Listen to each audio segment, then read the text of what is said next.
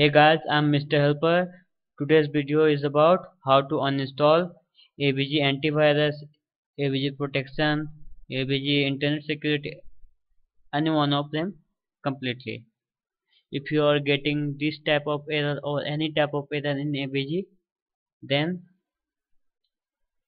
follow the step properly. I strongly recommend you to follow my step only.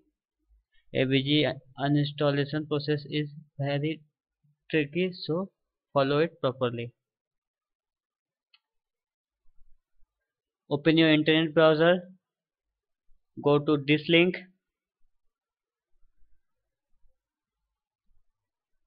This website link will be in description box below. Scroll down and then download this avg remover.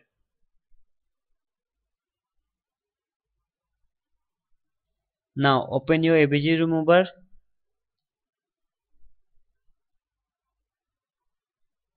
read license agreement privacy policy and then click continue.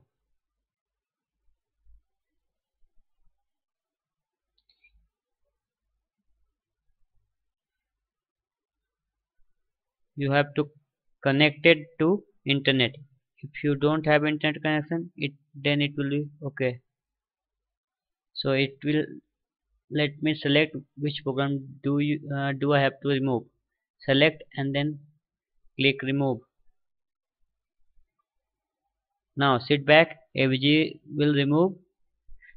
Whole avg protection software or your selected software it will take some time and it will restart your computer also.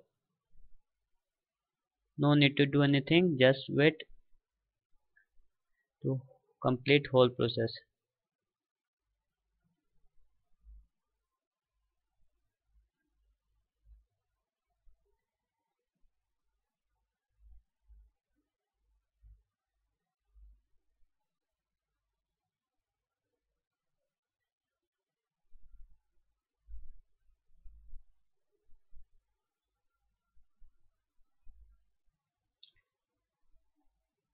now it asking me to restart.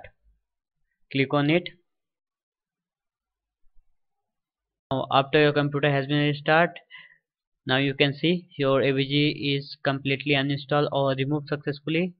Thank you for watching. At left top corner at this corner there will be a link of our previous video. Click on it and watch it too. Kindly like our video comment below share the video and don't forget to subscribe Thank you.